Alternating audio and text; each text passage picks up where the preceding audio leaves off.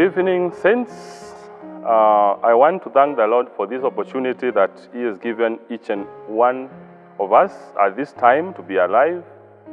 And this is an opportunity for us to continue um, worshiping God and repenting and making our ways right with Christ. I know we are living uh, in very difficult times.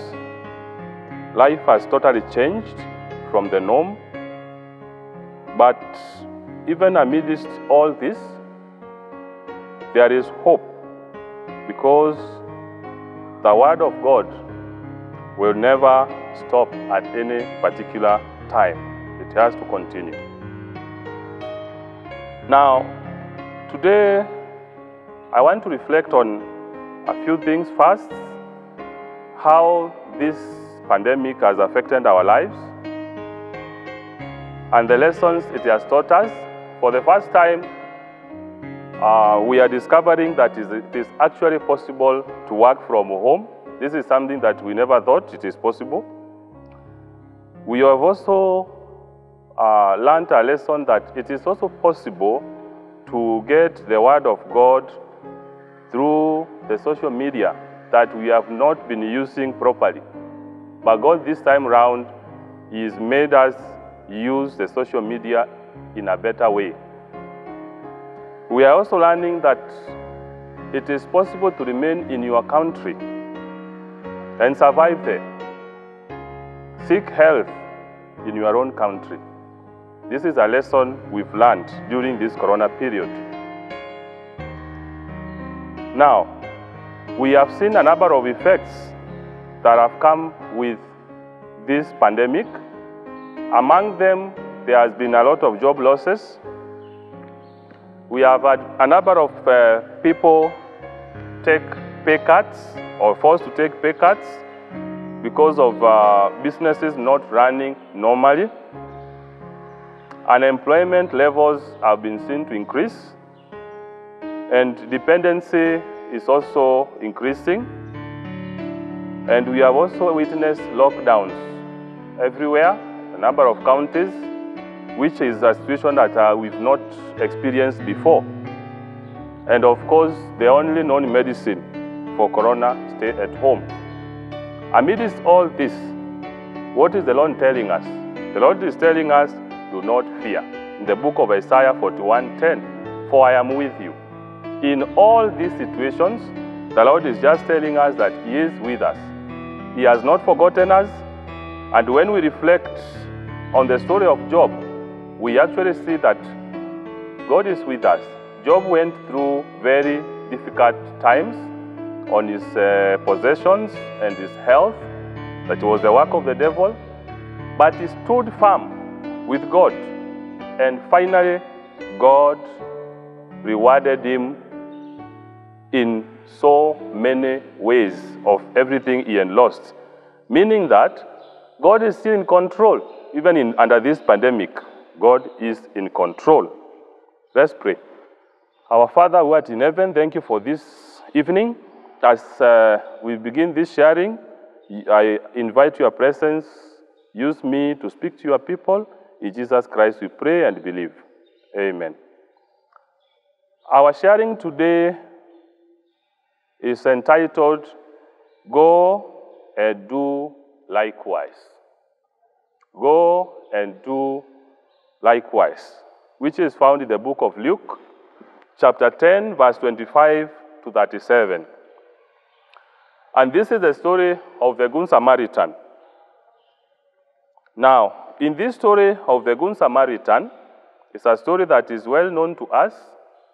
Uh, this story, we had uh, an expert of the law who trying to test Jesus by asking him, what should he do to inherit the kingdom of God? And Jesus answered him correctly. Jesus was not short of answers, and correct answers for that matter. He told him, You do as is written in the law. Remember, this guy is a law expert. And uh, when you look at the selection of words by Jesus, he could clearly read his mind. He told him, You should do as is written in the law. And what is written in the law is love the Lord your God with all your heart, with all your soul, with all your strength, and with all your mind. And love your neighbor as you love yourself. The law expert, in his wisdom, his earthly wisdom, he asked God, And who is my neighbor? Jesus answered him again through now the parable of the Good Samaritan. I'll go through that story in brief because it's a story that is well known to us. But as I said, it's anchored in the book of Luke 10, chapter 25 to 30. Uh, Luke chapter 10, verse 25 to 37. And the story is short. It says, A man was going from Jerusalem to Jericho. Along the way, he found or met with robbers who clobbered him mercilessly and left, left him half dead. And shortly after, a priest passed by, looked at the man, and passed on the side. Then, next, a Levite passed by, looked at this man who had been clobbered, left for dead, and looked the other way and left. And finally, a Samaritan, whom we call a good Samaritan, came. Now, why is this story very significant about this Samaritan? Samaritan, we should remember, were people who were half Jews, half Gentiles, and they earned their own mode of worship. They did not really know the true worship. But even in that situation, the Good Samaritan was able to help this man. He came and wiped the bruises that he had gotten from the beating that he, he got from the robbers. In addition, he, he, he used, he, he, made some uh, oil which he applied on his wounds, took him to a hotel, and asked the hotel attendant to take care of this man, and he gave him some money to take care of him. He was given food, and later, as the Samaritan was leaving, he told him that take care of this man in case of any extra expenses, I would come and meet them. Look at that contradiction. This is a Samaritan who did not go God, did not go know God very well, and the other two, uh, the Levite and the priest, just passed by. Now, the next thing Jesus told this man, now the law expert, after being given the parable by Jesus himself, he asked him, now who among three this among three, these three people did the right thing? And the law expert said, the one who had mercy on the man who had been robbed by the robbers. And Jesus told him, Go and do likewise. That's why my story is entitled Go and Do Likewise. Um, me and you have a duty at this time of the pandemic. We are not going to sit back and say there is nothing that we can do. Okay? Why? Because each and every one of us, God has given us an opportunity. It reflects in our very common hymn, number 359, which tells us in uh, some stanza that let none hear you saying, There is nothing I can do. There is something you can do. God does not want to hear you saying, In this time of pandemic, there is nothing you can do. That vocabulary does not exist in the heavenly uh, dictionary. We have people all around us who need help in many ways. This is because of what I said earlier. People have lost jobs, and there are many people who have and pay cuts. We have a lot of unemployment. And remember, Christ said this was one, this is one of the commandments that love thy neighbor as you love yourself.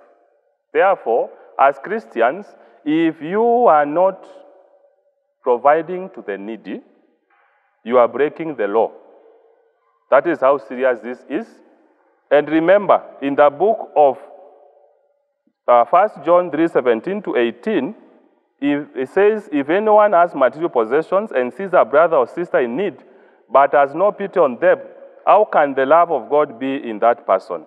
Dear children, let us not love with words or speech, but with actions and truth. That's what John is telling us. That we are possessions. And by the way, you cannot lie to your, to your God, nor to yourself. You know what you have, what God has given to you. Love thy neighbor as you love yourself, in this case, would mean each and every day you are taking care of yourself. You are making sure you are clothed, you have a shelter, you have food. But what about that neighbor next to you? You, you are able to love him because you love yourself. That's what that commandment is saying.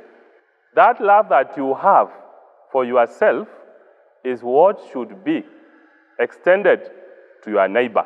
And we have seen in that story of the Samaritan who a neighbor is. All the people in need are your neighbors. So don't look at the people next door and say, ah, these ones have everything. They have been uh, cooking, they have been uh, doing all the chores at home, and now you say these guys are okay. Those are not your neighbors.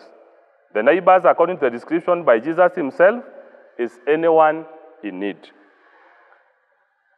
Further, we look at the book of Matthew, chapter 25, 35 to 40, which I will not go through it all, I just read a bit of it. For I was angry, and, and you gave me something to eat. I was thirsty, and you gave me something to drink.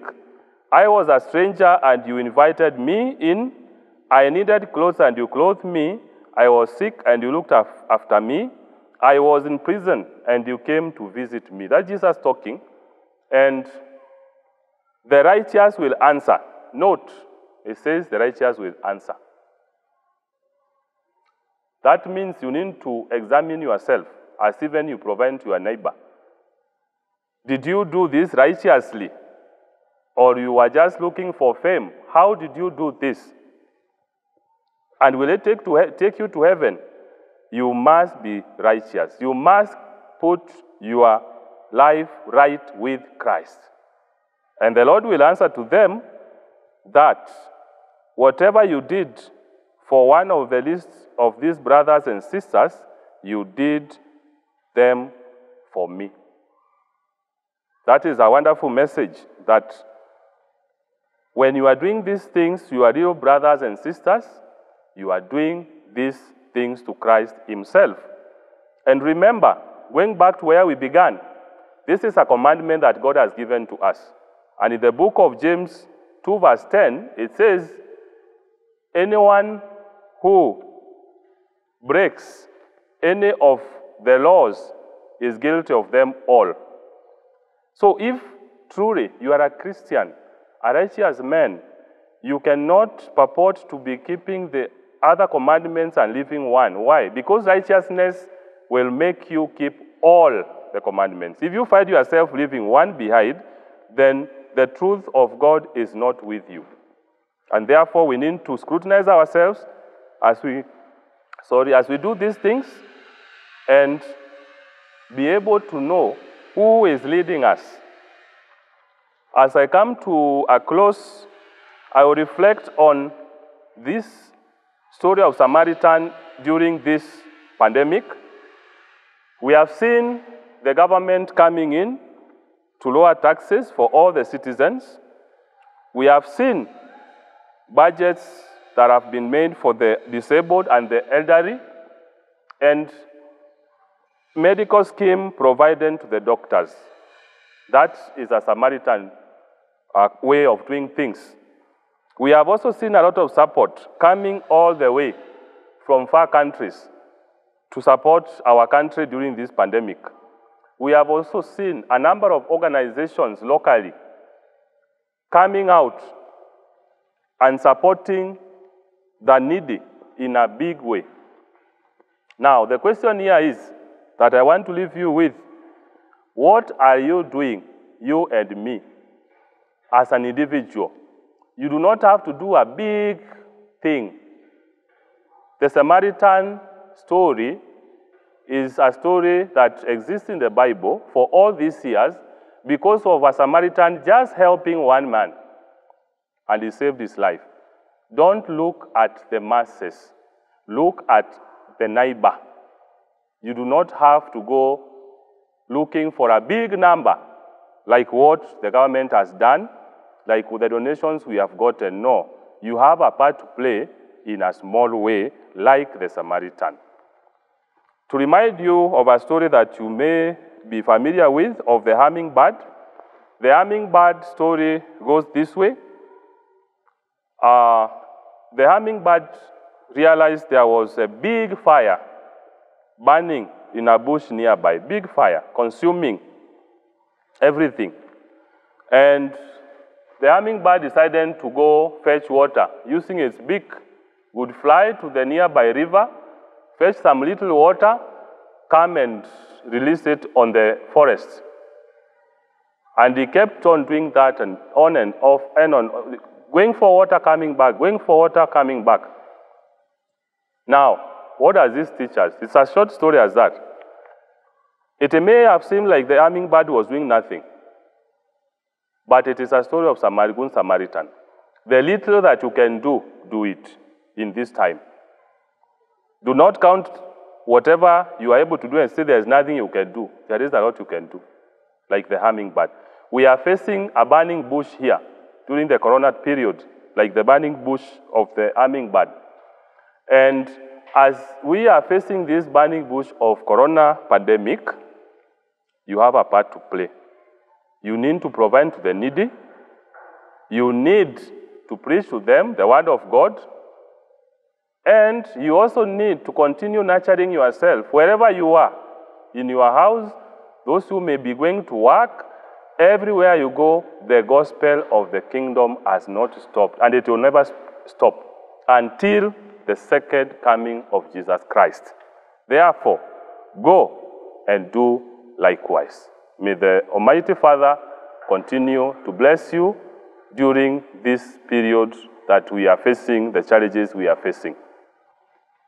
Amen.